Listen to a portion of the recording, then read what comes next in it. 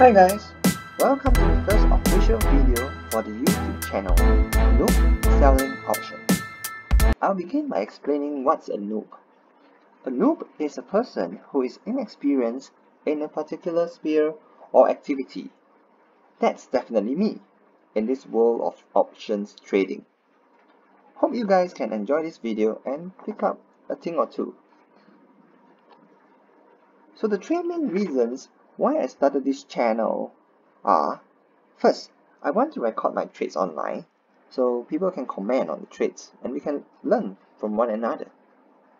Two, there are too many experts giving their opinions on YouTube, so I thought it could be rather fun having a noob posting his trades and see how they perform. And lastly, maybe YouTube will pay me money eventually if there's enough subscribers or viewers or likes or whatsoever. So there are so many strategies in this world of options, but as a noob, I shall only execute and practice one style of option trading. So what I'll do is I'll sell, collect, and pray. Three simple steps.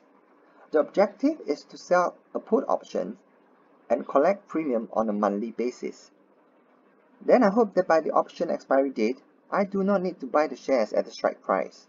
If everything is good, we can repeat the whole process over and over again.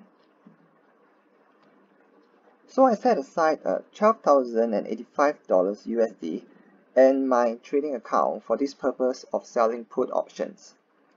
So my first ever trade was a success. That could be due to beginner's luck. So on 5th of April, I did a sell put on AMC stock with a strike price of $9. AMC opened around 10 bucks that day.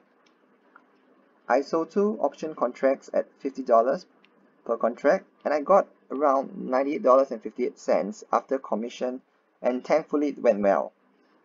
So in the next video, I'll do a summary for May on the stocks I sold puts on and the amount of premium I collected. So thank you for watching and do hope you guys can subscribe, give a thumbs up uh, for the YouTube algorithm and see you on the next video. Goodbye.